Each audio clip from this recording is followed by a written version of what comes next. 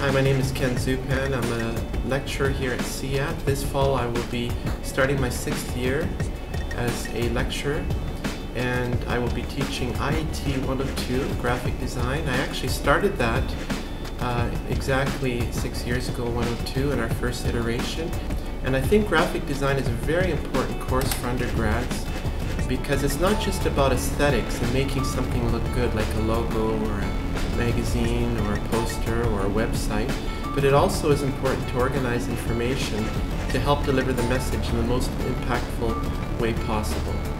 And how are we going to attain that? Well, we're going to show you how to mix imagery, text, and a legible layout. That's one way of doing it to help the message hit the target.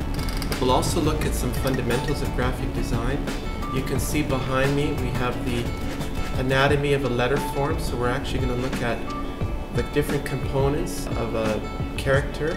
What else we'll look at is uh, we'll look at the history of graphic design, all the way back from antiquity, from the Greeks, Romans, Egyptians, right up to present, what's happening, all the cutting edge graphic design.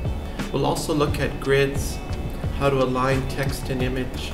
Color theory is very important color theory, there's additive color for the web, and then we use subtractive or the color theory associated with printing inks, which is very important, in the four color process.